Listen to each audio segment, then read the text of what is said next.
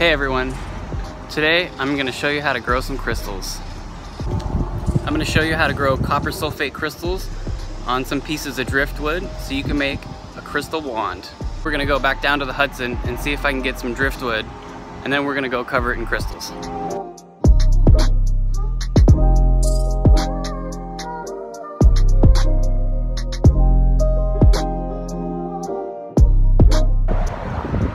So now I've made it down to the Hudson and I'm gonna walk around by the shore, try to find some driftwood, and we're gonna take it all back home and I'm gonna show you how to grow some crystals on it.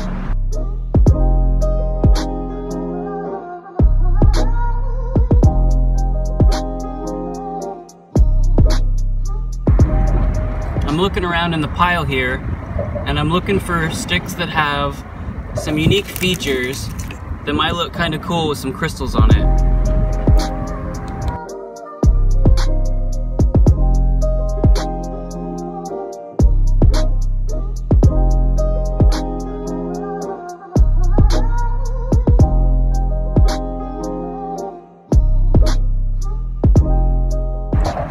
Keeping my eye out for interesting seed pods that also might look good with some crystals on it.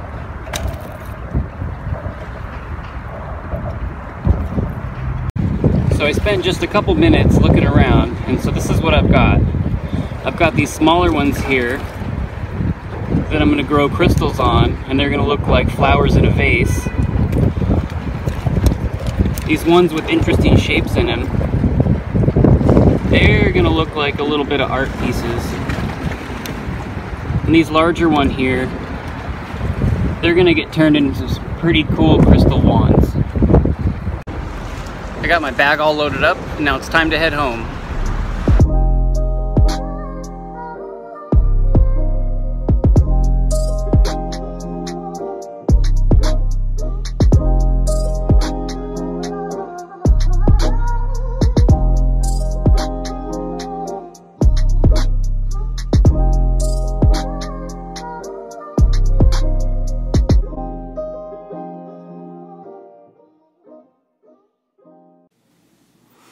Now you'll get some copper sulfate, links down below, and a container to put it in.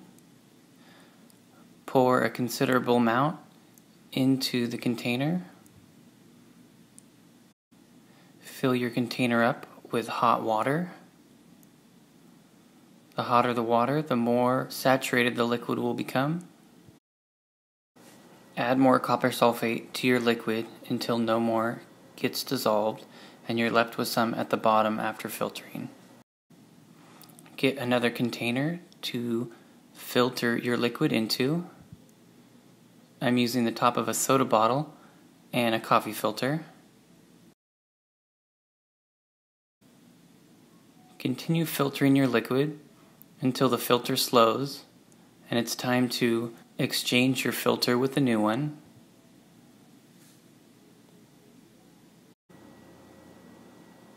Gloves are recommended, but I don't really get any of it on my hands, so it's not too much of a big deal, especially if I wash my hands.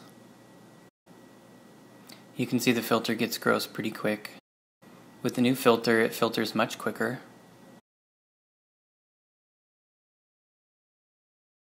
Now choose the item that you would like to cover in crystals.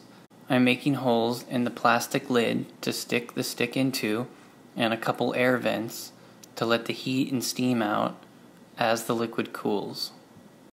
If no crystals have developed around your item after your liquid has cooled, take your item and let the liquid dry out on it to form seed crystals.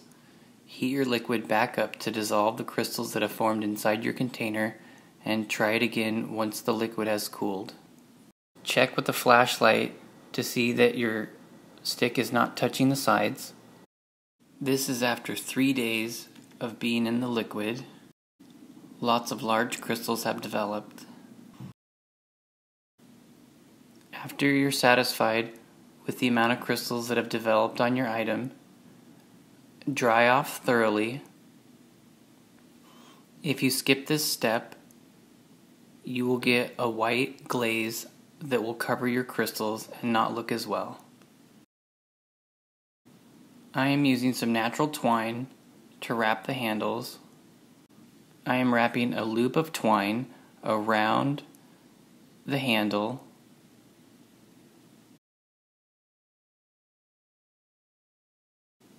Once I'm satisfied with its length, I'll take the end that I was wrapping and I'll run it through the loop and then I'll take the string at the top and I'll pull it tight which will pull up the loop and secure the bottom of the wrap.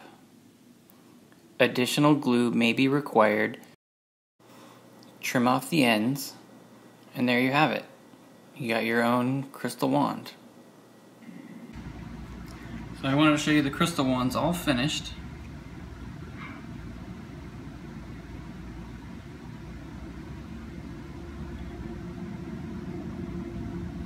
They're all wrapped up have fun with. So all the chemicals and supplies I'm to use in this video are going to be linked down below. If you like this video and want to see more, remember to subscribe